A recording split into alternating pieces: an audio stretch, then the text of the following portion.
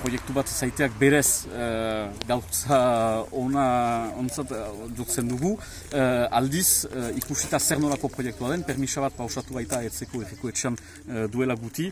Hemen promotore batek, kanpoko promotore batek, nahi ditu amak apartamendu egin, ostanding mailakoak, beraz guk diogu, bigarren etxibizitzak uh, sortuko direla berriz ere Ipar Euskal Herrian, eta hori onartezina da guretzat. Aetzeko azken uh, laborantza lujak dira olako potentzial uh, batekin, uh, uste dut sortzi behatzi hektara direla.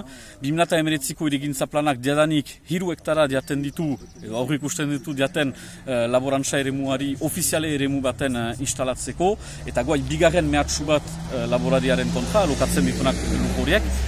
Uh, bastimenduan amar apartamendu eginez, pentsa daiteke uh, ondoko urteetan hor biziko diren kanpoko dende horiek, ez dutela onartuko laborantza aktivitate bat eien uh, etxe ondo ondoan. Beraz, uh, mehatsatua da hemen uh, laborantza proiektua, jakinez laborari horrek bere aitak deanik ustiatzen zituen lur horiek alokatuz, eta bere semea badu prest segida hartzeko. Turruñatik etorri zen famili bat, uh, logeita markadan, ez nahi zuzen urtean, baina unat etorri ziren, uh, zazpi aurrekin, unat bezitzelat eta laborantzan anitzeko.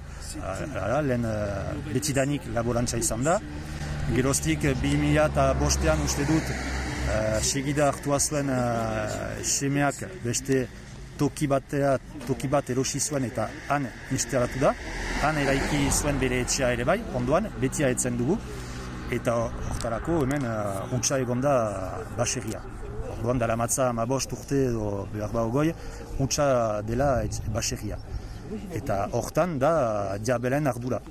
Diabeak du aspaliko partez, daki gun bezala ez du sobera dirurik enbestitu bere baserrian, orduan gaur ikusten aldu zen bezala, ze egoeran den baserria. Eta normala da zerbait egitea elori antzin zen, bada, bada iztuleo bat baseria horrekin zen, hemengo lapurdiko baserri bat da,